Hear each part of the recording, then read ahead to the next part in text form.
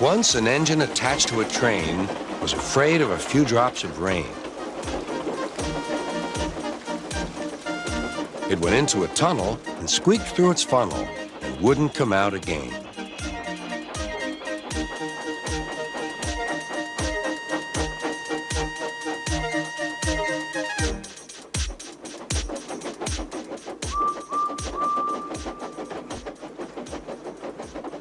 The engine's name is Henry.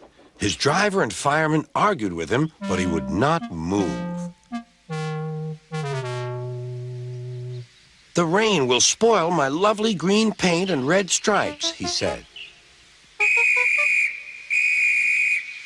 The conductor blew his whistle till he had no more breath and waved his flag till his arms ached, but Henry still stayed in the tunnel and blew steam at him. I'm not going to spoil my lovely green paint and red stripes for you.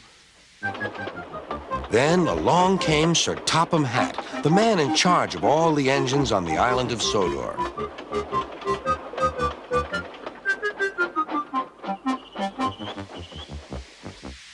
We will pull you out, said Sir Topham Hatt.